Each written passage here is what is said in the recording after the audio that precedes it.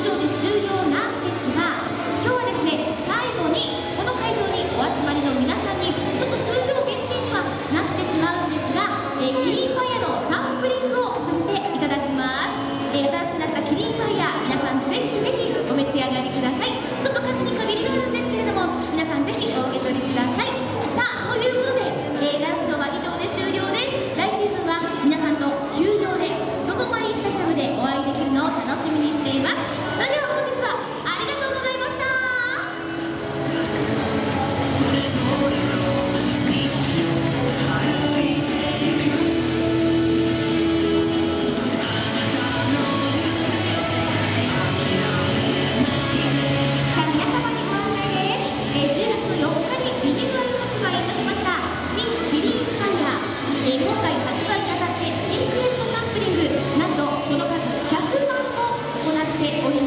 えー、ピイヤの生